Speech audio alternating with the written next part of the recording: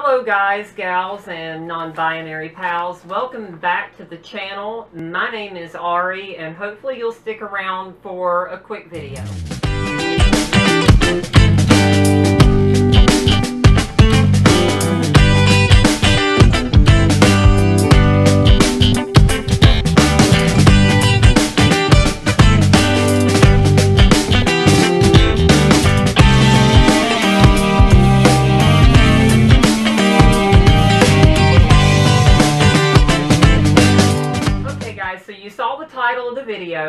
And it was kind of inspired by some things I saw online with some trans YouTubers, um, including one that I really love, where they were getting a lot of flack basically for saying they wouldn't change who they are.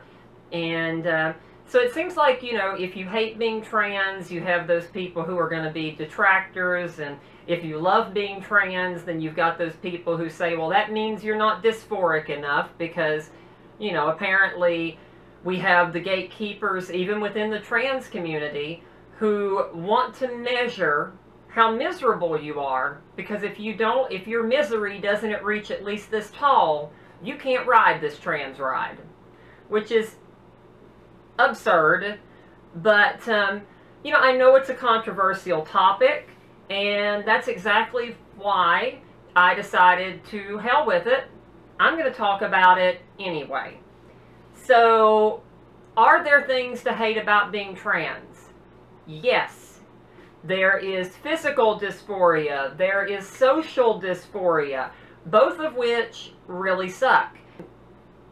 And you know, the fact of the matter is, is that dysphoria can be crippling for a lot of people.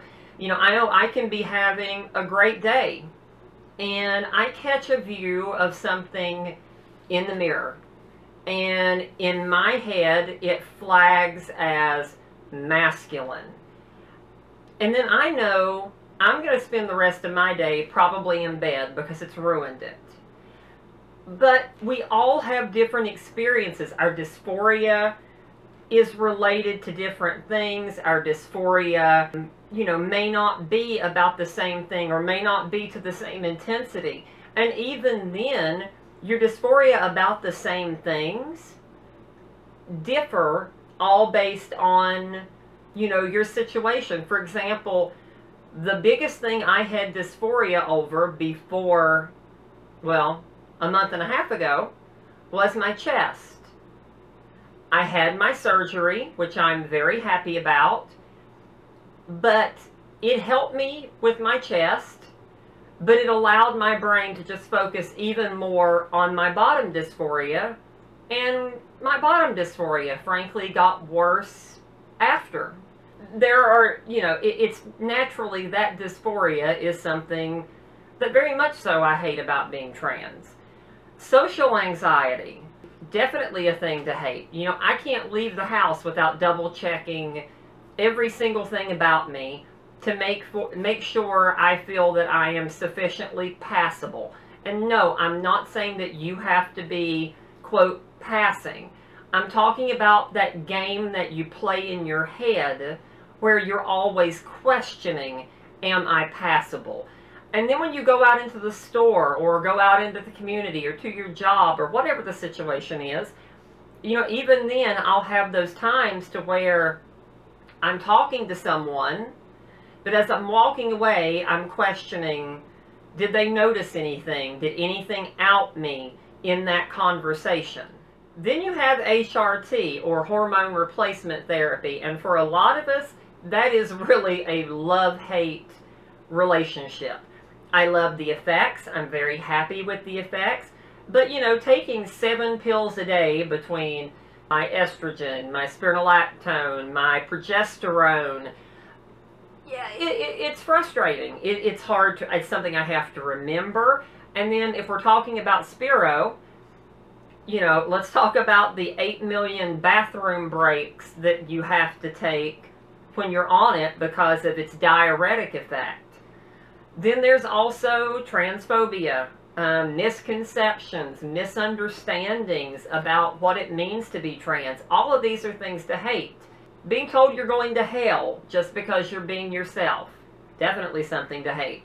Being misgendered, those are all great things to hate. They are worthy of your hate. Not to mention the 500 questions you get whenever someone finds out that you're trans, and a big portion of them being incredibly inappropriate. You know, all of a sudden you're just saying hello to someone, and because they found out, you're having to tell them, well, when did you know? Does your family know? How did they take the news? Are your boobs real? Are you having bottom surgery? When are you going to have bottom surgery? It's frustrating.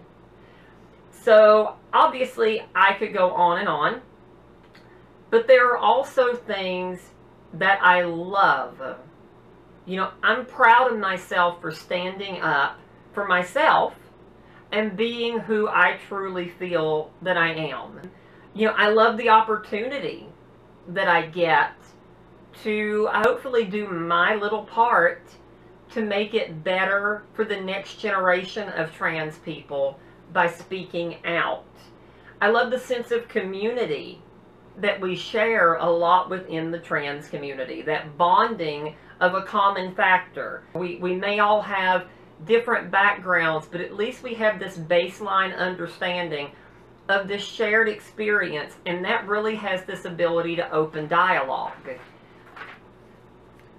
I love the fact that being trans has forced me to examine my life and to get to know myself better and to understand, you know, my body and my brain so much better in the process. And in that, because of how I felt, it's helped me to have more compassion for marginalized communities. Honestly, I can't tell you if I hate it or if I love it. There's a lot about my life that would have been easier if I weren't trans.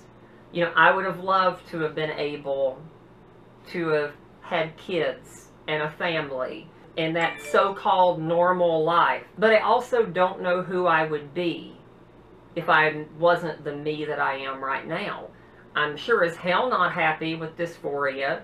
I'm not fully satisfied with where I'm at in my transition or my body. But overall, I'm happy with who I am. So what ifs? Going through playing these what if games, what if you could be cis? What if you, you know, there's some interesting places for your mind to go, but at the end of the day, they change absolutely nothing if you love being trans, if you hate being trans, or if you're like me and you just have no damn clue how you feel about it most days, it doesn't change the fact that we still are who we are. We can't do anything about that. We are trans. And playing around with the what ifs and then getting pissed because someone else doesn't share your experience is juvenile. It is damaging to the trans community where we need unity. And it just doesn't help the situation at all. You know, all we can do, love it or hate it, is do our best to have the happiest, most fulfilling life that we possibly can. That's what our goal has to be, not what if I were cis or do I hate being trans or am I dysphoric enough? What's making you happy? What's giving you a chance at feeling happiness, contentment with who you are? That's what's important. And if someone else can't understand that, if someone else thinks that you are not trans enough because you haven't suffered enough for their level, like we have to have a public flogging in order to be trans enough. You just need to tell those people to piss off and get away because that is toxic. That is poison. Not only for you personally, but that is poison for the entire trans community. We have to be united. We get enough people tearing us down from outside our community. It's time that we take a little bit of time to build one another up. So anyway, that is my video for today. I hope you enjoyed the video. If you did, please consider clicking the subscribe button and the little bell so that you know um, when new videos are uploaded. Let's see here. Leave your comments for suggestions on future videos. Let me know what you want to see on the channel. I'll end with my quote from Kesha. Don't let the bastards get you down. Hold your head up high. Be yourself. Be proud of who you are. And enjoy life, dysphoria or not. Well, that's pretty much it. Based on my one comment I had where somebody gave me a hate comment and called my hands man hands. So me and my man hands will wave goodbye to you and have a great day, guys. Lots of love.